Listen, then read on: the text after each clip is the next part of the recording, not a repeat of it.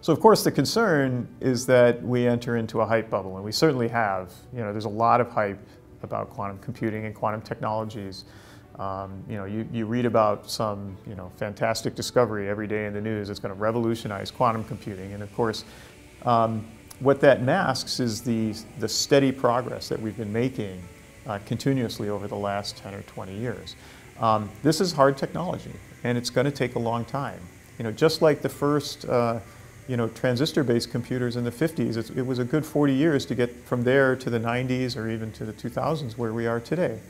Um, that doesn't mean you shouldn't do it, but sometimes we can get lost in the hype. Um, and part of the Center for Quantum Engineering's purpose is to help companies understand uh, where that differentiation is between what's hype and what's reality, um, and give a clear picture of where quantum information is going and on what timescale you can expect it to happen. Quantum computing is in its infancy. We're just starting. And um, you know, an, an, analogy that I like to use is that um, you know, the recent demonstration of quantum supremacy at Google um, is basically a Kitty Hawk moment. And so it gives a perspective that, you know, there are some very important demonstrations in quantum computing that are happening right now. Um, but we also need to keep the perspective that it takes time and it takes engineering to turn these first demonstrations into useful, practical machines. Sure.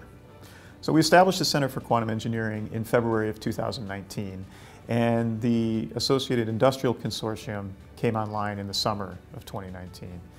Um, and, and since then, we've had a number of companies sign up already um, from, from all walks of life. We've had companies from the automobile industry. Of course, we've had companies who are actually building quantum computers themselves. But we also have companies who are building um, the pieces that might be associated with a quantum computer, like the electronics that control quantum computers or the uh, optics that control quantum computers. And then we have a number of companies that are potentially users of quantum computers. They're, not trying to build a quantum computer themselves, but they're trying to understand how is a quantum computer going to affect my bottom line in 10 or 20 years. Um, and in fact, if my, my, my guess is that in the end, we'll have more of those types of companies joining because there, of course, will be a few companies that are building quantum computers, but there are going to be many, many more companies that actually use quantum computers. So of course, you know, one strategy is to just sit back and wait and say, I'm going to wait until a real quantum computer exists, and then I'm going to go use that quantum computer to do something. And, and I can understand that strategy. But, but what I would say to that is that, look, you know, even if we have a small quantum computer today. It's not large enough to do or solve the problem that you have, but it's large enough that we can develop an algorithm which is going to address your problem. Um, if you sit back and wait, chances are your competitor is not going to sit back and wait. And your competitor is going to uh, figure out what algorithms are viable on a quantum computer and solve um, real world problems. And they're going to test it on these small quantum computers where it's not yet at scale, but in 5 or 10 or 15 or 20 years it will be at scale.